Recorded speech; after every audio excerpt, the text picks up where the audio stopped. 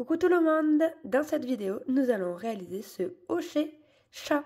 Pour les personnes qui ne savent pas crocheter, vous pouvez le retrouver sur mon site internet. Vous avez la fiche juste ici pour y accéder directement. Sinon, place au tutoriel.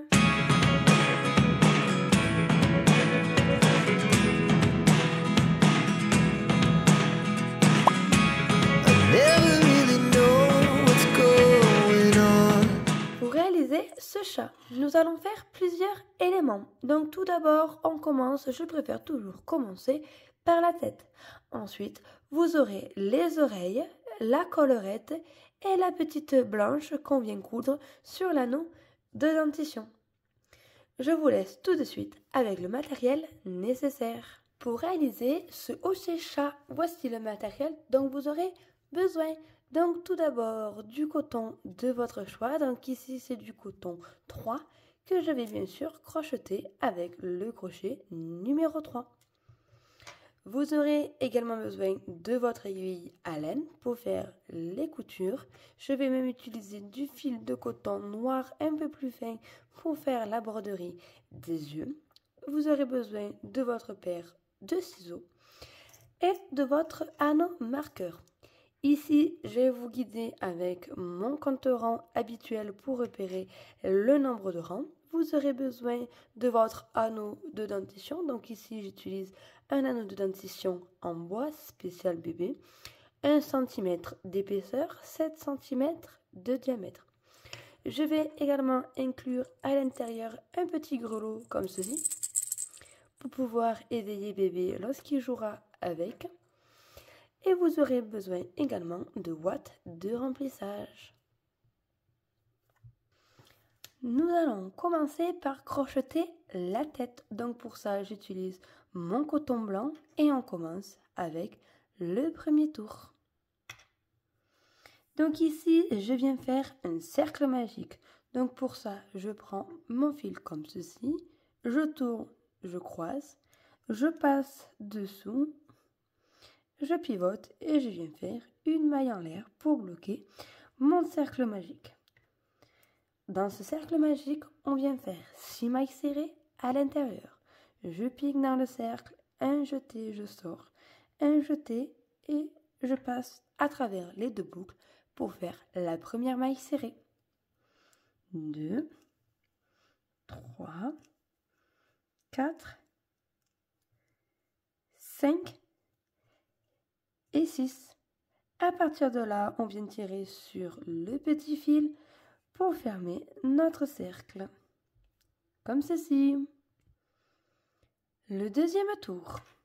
On va venir faire une augmentation dans chacune de ces six mailles. Donc on travaille toujours en maille serrée. Ici, dans la première maille, je viens réaliser ma première maille serrée comme ceci. On n'oublie pas de prendre notre anneau marqueur, de venir le mettre à l'intérieur pour repérer le début de notre tour car nous crochetons en cercle. Et donc du coup au même endroit, dans la même maille, je pique pour faire une deuxième maille serrée. Et comme ça, j'ai créé mon augmentation. Je répète ça dans les cinq mailles qui restent.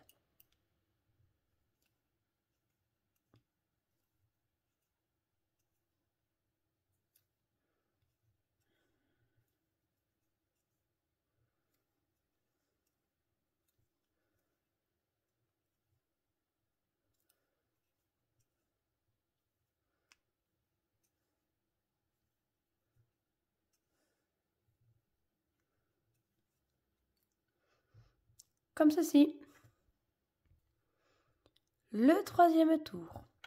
On va faire également 6 répétitions. Cette fois-ci, on va faire une maille serrée d'intervalle. Donc une maille serrée, une augmentation. Qu'on répète tout le tour. Donc c'est-à-dire au début de mon rang, là où il y a mon anneau marqueur, je viens faire ma première maille de mon rang. C'est une maille serrée simple. Je prends mon anneau marqueur que je déplace dans cette maille serrée. Et ensuite, dans la maille suivante, je viens faire mon augmentation.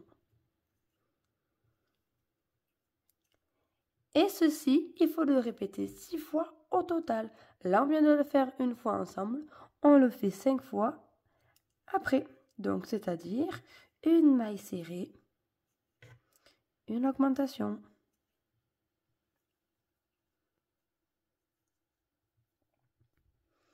Pour le quatrième tour, cette fois-ci, on va faire 6 répétitions où on fait deux mailles serrées simples, une augmentation.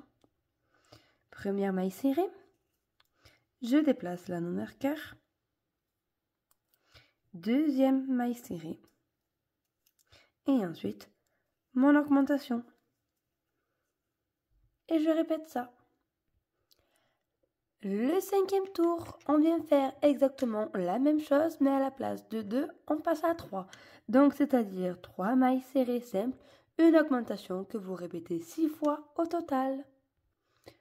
Le tour numéro 6, cette fois-ci, on passe à 4 mailles serrées, une augmentation que l'on répète 6 fois au total. À partir de là, nous allons venir crocheter 6 tours deux mailles serrées, donc simplement toutes ces mailles en mailles serrées. Donc il vous faut arriver, tac tac tac tac tac tac tac, au douzième tour inclus. Donc à chaque fois que vous crochetez un tour, on n'oublie pas de venir crocheter la première maille de notre tour là où il y a notre anneau marqueur et on le déplace dans cette maille là pour venir crocheter ensuite notre tour simplement comme ceci, en maille serrée. Donc je fais ça et je vous retrouve juste après. Donc 6 tours. On continue avec le 13e tour. Donc du coup, un tour d'augmentation. On vient faire 6 répétitions de 5 mailles serrées, une augmentation. Là, j'ai fait une maille serrée, 2, 3, 4, 5 mailles serrées et maintenant mon augmentation. Et je répète ça tout le tour. Pour le tour 14, on fait la même chose mais avec 6 mailles serrées, une augmentation. À partir de là, on vient faire 4 tours de mailles serrées. Donc jusqu'à arriver au 18e tour, inclus 4 tours. Voilà, comme ceci, donc j'ai fait mes 4 tours de mailles serrées. À partir de là, nous allons venir faire que des rangs de diminution. Donc on attaque le 19e. Donc pour ça, on vient crocheter les 6 premières mailles serrées. Une, deux, trois, quatre, cinq et 6. Puis on vient faire une diminution. Donc je pique dans la maille suivante, un jeté, je sors. Je pique dans la maille d'après, un jeté, je sors. Un jeté et je ferme les trois boucles ensemble. On vient de fermer une euh, deux mailles serrées ensemble. Donc on vient de faire une diminution. Et on répète ça tout le tour. 6 mailles serrées simples, une diminution. Le vingtième tour. On fait la même chose, mais cette fois-ci avec 5 mailles serrées. Donc ici, la première, 2, 3, 4 et 5 mailles serrées, puis une diminution. Et je répète ça tout le tour. Pour le tour 21, on passe à 4 mailles serrées simples une diminution. Le tour 22. Trois mailles serrées simples, une diminution. À partir de là, je mets en pause mon travail et on vient remplir de watts. Donc ici, je vais mettre une petite couche au fond pour pouvoir intégrer au milieu le petit grelot. Et ensuite, je remplis de watts. Maintenant, on continue de fermer et on passe au 23e tour. Et on vient faire deux mailles serrées simples, une diminution. Je continue de fermer, donc ici c'est le 24e et on vient faire une maille serrée, une diminution. Pour notre dernier tour, c'est le 25e et on vient faire 6 diminutions. Une.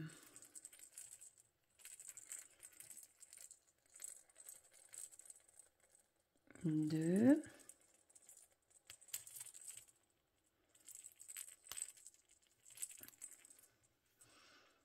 Trois.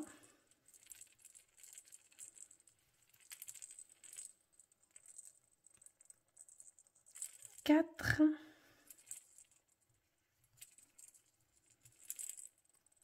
Cinq. Et la dernière. Et six. À partir de là, on vient arrêter notre travail. Donc, je pique dans la maille suivante. Je viens faire une maille coulée, une maille en l'air. Et là, je tire. Je me garde assez de fil pour la couture. Ça nous permettra de coudre la tête sur euh, l'anneau de dentition. Et je coupe.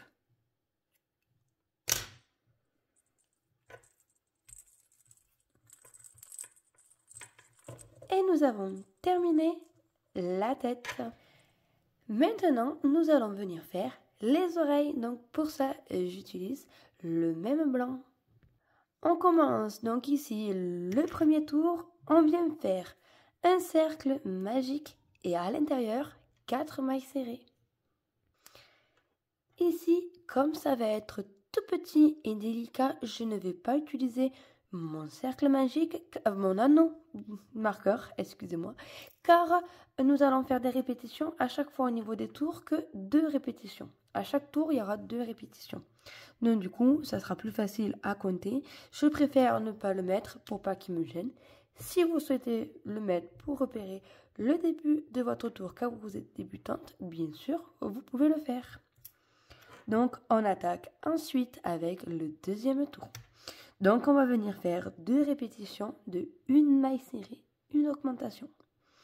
La première maille ici de mon rang, je plaque mon petit fil, je fais une maille serrée et dans la maille à côté, une augmentation. Et je répète ça une autre fois. Une maille serrée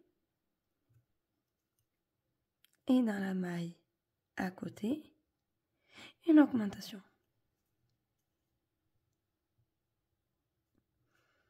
Et on vient de terminer le, premier, le deuxième tour.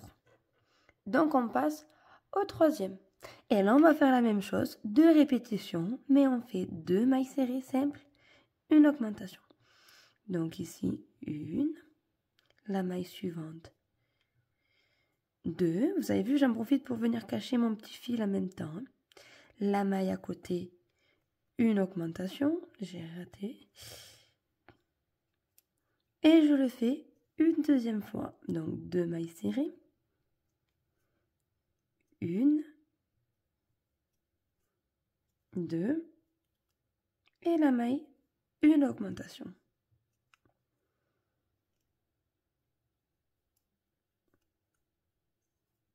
Voilà, comme ceci. Et j'ai terminé le troisième tour. On passe au quatrième et cette fois-ci, on vient faire deux répétitions de trois mailles serrées, une augmentation. Donc une,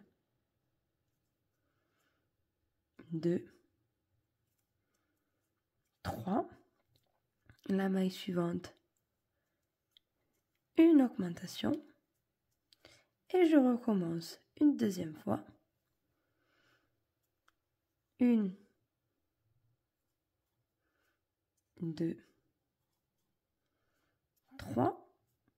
Et je termine le rang par mon augmentation.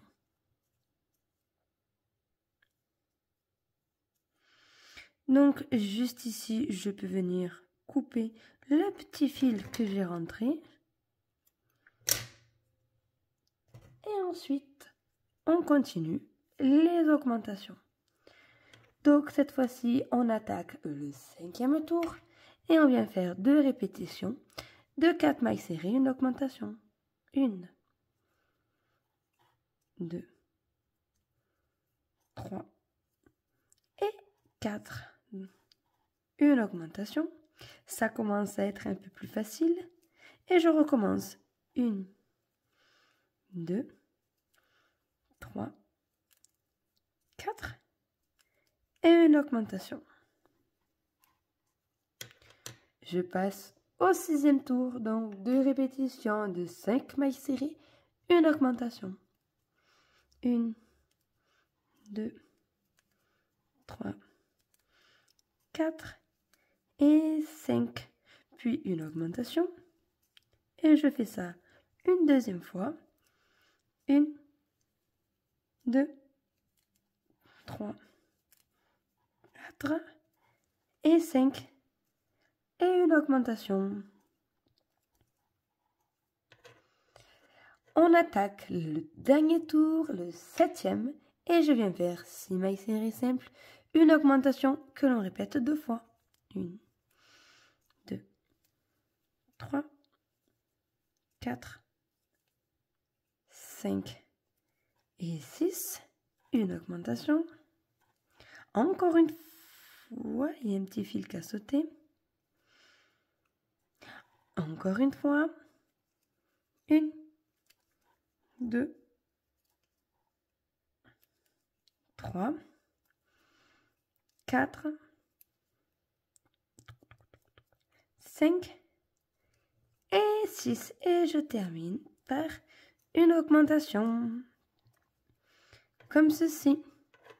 Donc ici, je viens faire une maille coulée, une maille en l'air, je tire, je me garde un peu de fil pour la couture et je coupe.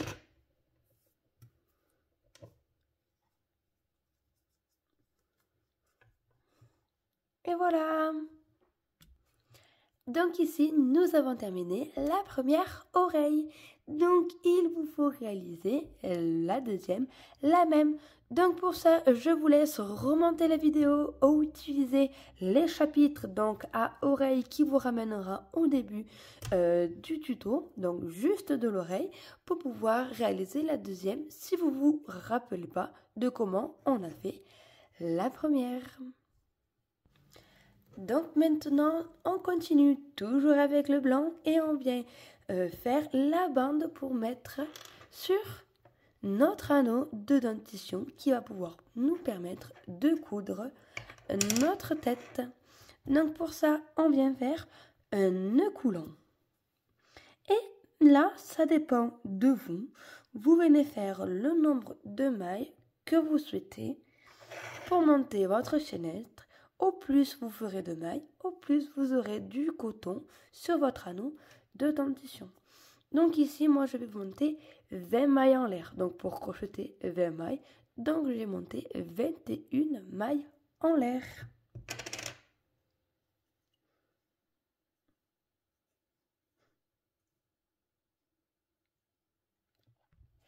Et à partir de là, on va tout simplement venir crocheter nos mailles en mailles serrées. Et on va venir crocheter en aller-retour en faisant simplement des rangs de mailles serrées. Le nombre de rangs est à déterminer en fonction euh, de votre épaisseur de l'anneau de dentition. Il faut que vous puissiez faire le tour avec votre bande pour pouvoir faire la couture. Donc je fais ça et je vous montre juste après. Donc voilà, comme ceci, donc simplement on aller-retour, les mailles serrées. Donc il faut que vous puissiez faire le tour, comme ceci, de votre hochet. Donc ici, j'ai réalisé moi 7 rangs.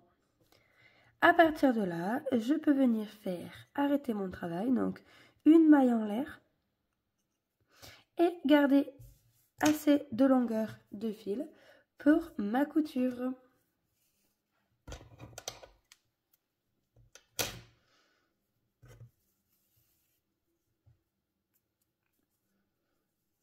Voilà. Maintenant, nous allons faire la petite collerette. Donc ici, je vais utiliser mon fil rose. on vient faire une chaînette de 12 mailles en l'air.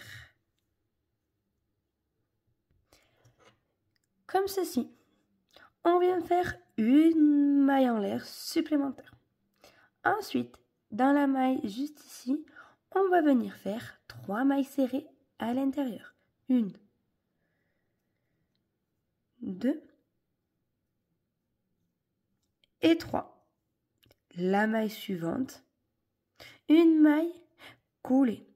Et je répète, la maille d'après, trois mailles serrées à l'intérieur. Une, deux, trois. La maille suivante, une maille coulée. Et je continue jusqu'à la fin de mon rang. Trois mailles serrées à l'intérieur.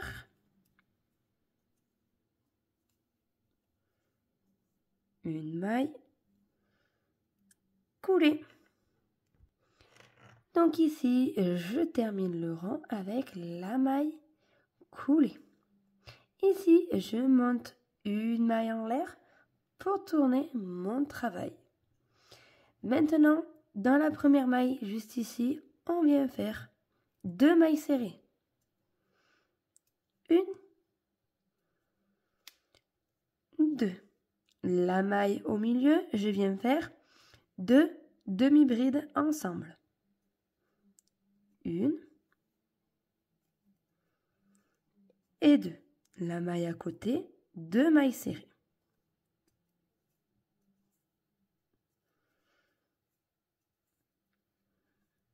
Ensuite, là où il y avait la maille coulée, on vient faire de nouveau une maille coulée. Et je recommence ça dans chacun des motifs.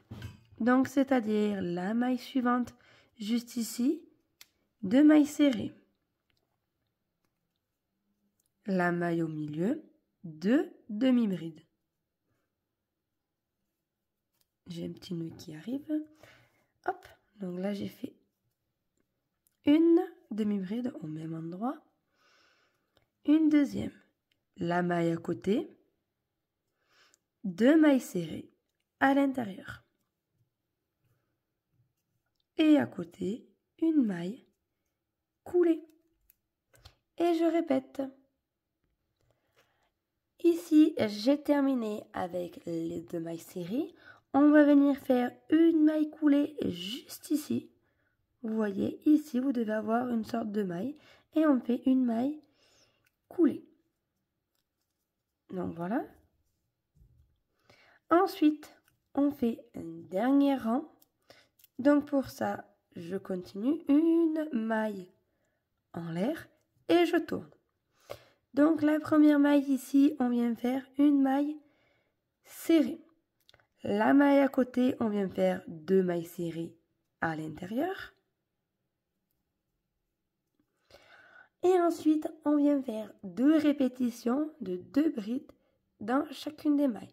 Donc la maille juste ici, je viens faire deux brides, deux demi-brides, pardon. Comme ceci.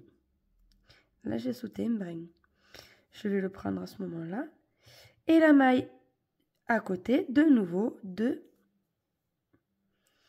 demi-brides à l'intérieur. Ensuite, la maille suivante, deux mailles serrées.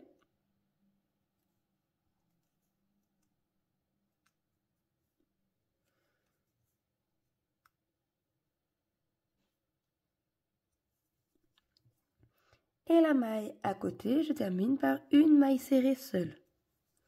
Et ensuite, juste ici, une maille coulée. Et je répète ça sur les autres vagues. Donc, je vous remontre. À côté, on vient faire une maille serrée simple. Ensuite, une maille, deux mailles serrées à l'intérieur de la maille. Donc une augmentation en maille serrée. Ensuite, deux, deux fois deux demi-brides à l'intérieur. Donc j'ai fait deux demi-brides. Dans la maille suivante, de nouveau, deux demi-bride. À côté, deux mailles serrées dans la même maille. À côté, une maille serrée. Et je continue, je vous remontre une troisième fois. Enfin, une maille serrée, on termine par la maille coulée. Excusez-moi. Je vous remontre encore une dernière fois. Je démêle les nœuds de la pelote. Ralala. Donc, je vous remontre le motif. Donc, on commence par une maille serrée. La maille suivante, deux mailles serrées à l'intérieur. La maille d'après, deux demi-brides à l'intérieur. Encore la maille d'après, deux demi-brides à l'intérieur. La maille suivante, deux mailles serrées à l'intérieur.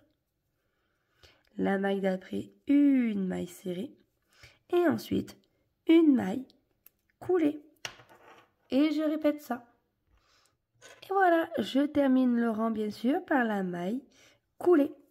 Ensuite, une maille en l'air, je tire et comme à chaque fois, on garde du fil pour la couture. Donc voilà, on a terminé la collerette. On verra plus en détail une fois que ça sera cousu, vous verrez.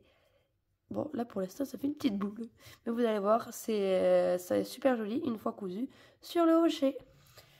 Voilà, maintenant nous avons toutes nos pièces. Donc la bande pour l'anneau, la collerette, la tête et les deux oreilles.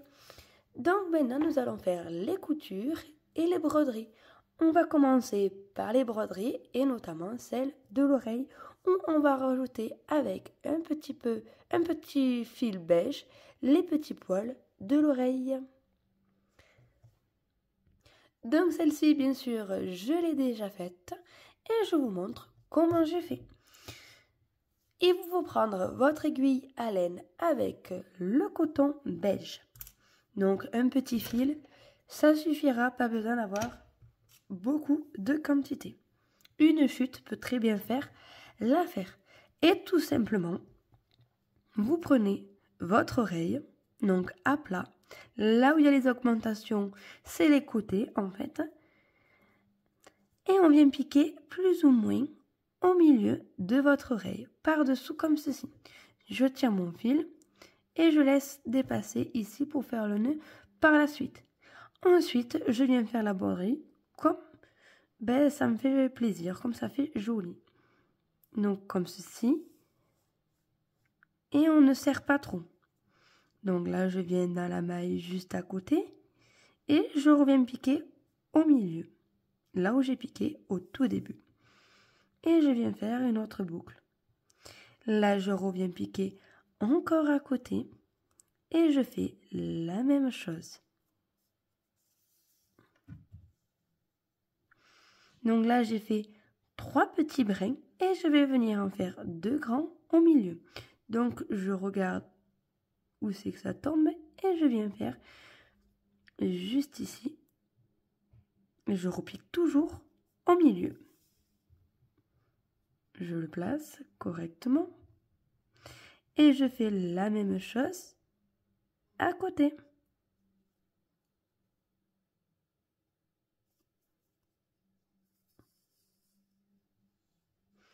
Tout simplement, une fois terminé, je passe le fil à l'intérieur de ma maille. Et là, je vais venir faire un nœud.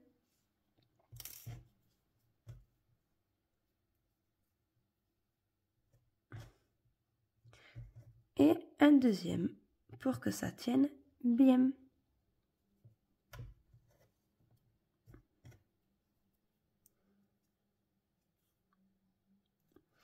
Ensuite, je coupe le surplus assez long pour éviter que le nœud se défasse et je rentre ceci à l'intérieur de mon oreille.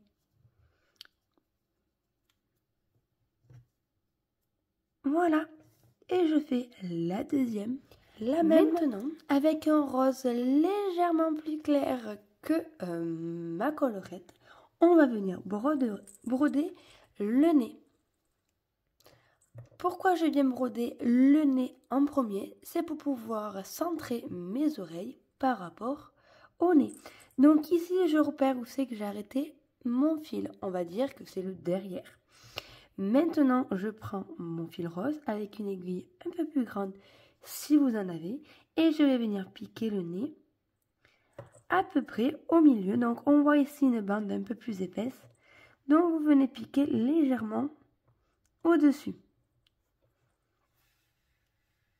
Je tire, je tire, je tire pour avoir assez de fil et je m'en laisse un tout petit peu pour pouvoir faire un nœud. Et maintenant, ben, on vient faire une petite broderie. Donc, je vous laisse regarder la vidéo pour voir comment je fais.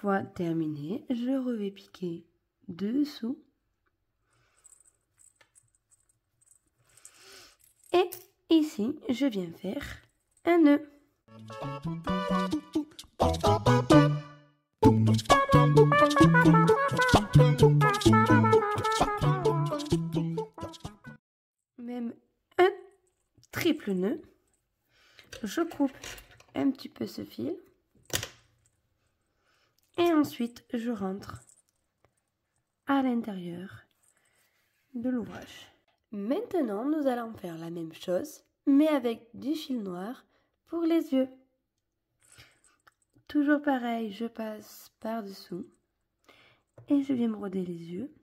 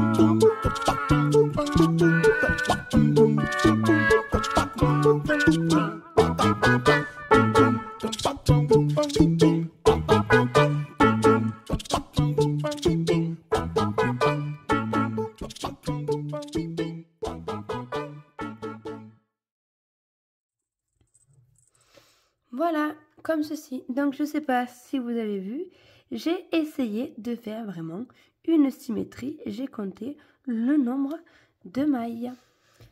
Donc ici, de la même façon que le nez et les yeux, j'ai rajouté des petites moustaches beige de la même couleur que les poils des oreilles. Maintenant, avec nos aiguilles comme ceci, on va venir épingler les oreilles là où on souhaite les coudre. Voilà, comme ceci. Et maintenant, on passe à la couture. Donc, tout simplement, je vais venir piquer à l'intérieur des rangs et alterner une fois le rang, une fois la maille.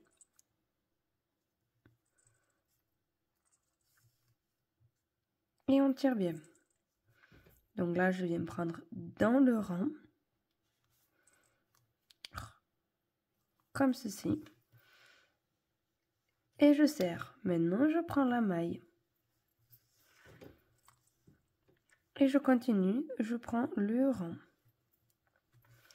Et je fais ça tout autour de mon oreille.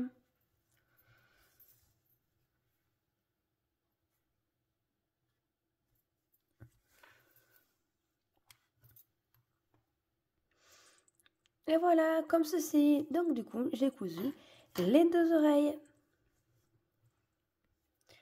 Maintenant, on va venir coudre notre bande sur notre anneau de dentition. Donc tout simplement, vous venez le passer. Et pour la couture, on va venir piquer une fois dans un rang, une fois dans l'autre.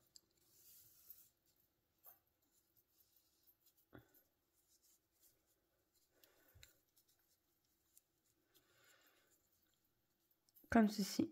Donc là, je pique comme ceci.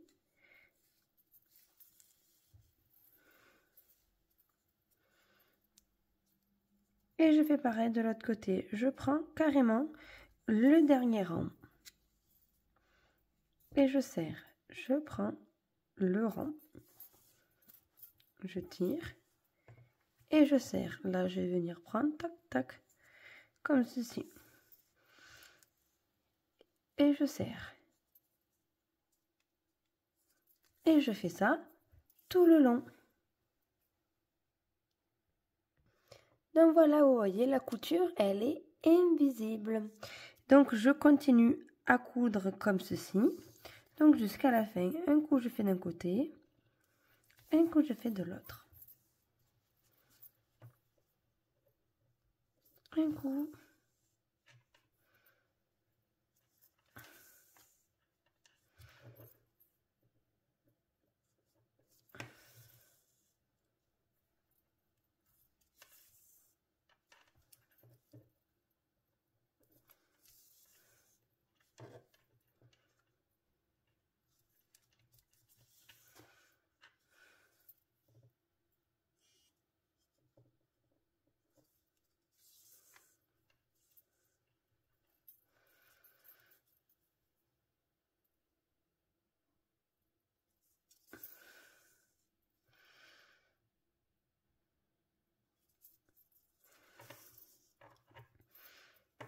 Voilà.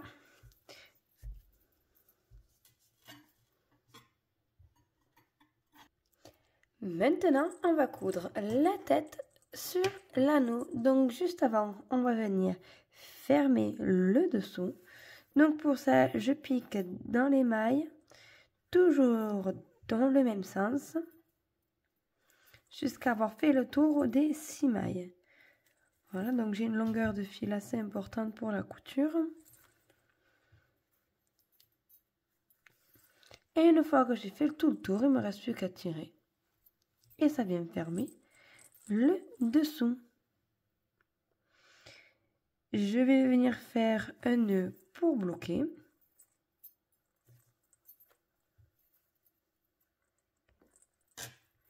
Comme ceci. Et je vais mettre mon fil sur le côté. Pour pouvoir faire ma couture. Donc à vous de voir comment vous souhaitez le placer. Donc là, je vais mettre le fil un peu plus haut.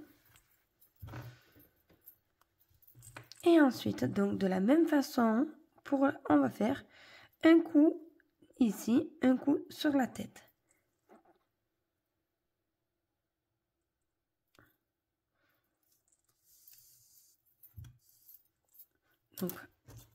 Et à chaque fois, je prends le rang.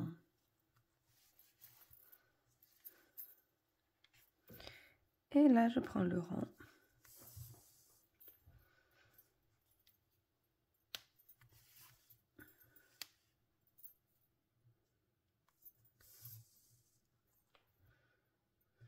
Et je fais ça tout le long, côté endroit et côté envers de la tête. Et voilà, comme ceci. Maintenant, il ne restera plus qu'à venir coudre pareil, à peu près de la même façon, votre euh, collerette autour. Donc ici, je vais faire quelques points à travers, pas besoin de faire des points tout autour. Et je vais surtout rassembler les deux parties à l'arrière. Voilà, je vous retrouve juste après. Et voilà, nous avons terminé ce joli chat au crochet. Alors j'espère que ma vidéo a été assez compréhensible pour vous, que j'ai été claire dans mes explications et que vous allez réaliser ce joli petit chat.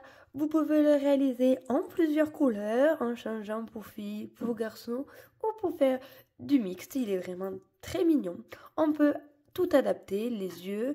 À la place des broderies ici, Vous pouvez mettre les yeux ronds euh, sécurité bébé.